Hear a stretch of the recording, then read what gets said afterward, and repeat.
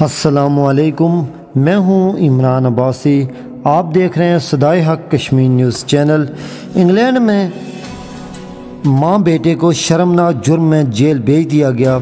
इस खबर की तफसीत से कबल और खबर से बाखबर रहने के लिए हमारे चैनल को सब्सक्राइब और साथ में दिए गए बेल आइकन को ज़रूर दबाएँ।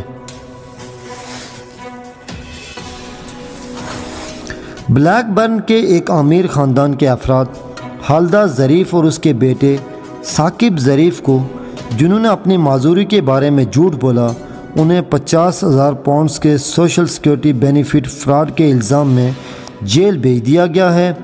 इक्यावन साल खालदा ज़रीफ़ को, बारह माह कैद और उसके बेटे तैंतीस साल साकिब ज़रीफ़ को धोखाधही की साजिश के इल्ज़ाम में पंद्रह माह की सज़ा दी गई।